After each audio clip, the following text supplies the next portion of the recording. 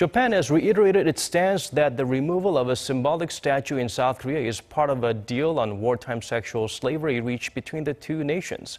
Speaking at a press conference on Wednesday, Japan's Deputy Chief Cabinet Secretary Koichi Hagiuda said that the significance of the agreement was to resolve the issue once and for all. He said that in that sense, the removal of the Comfort Woman statue from its place in Seoul is included.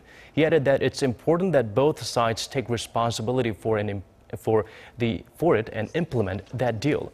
Hagiuda's remarks follow comments made by Korean President Park Geun-hye the day before, in which she said the statue's removal was not part of the agreement.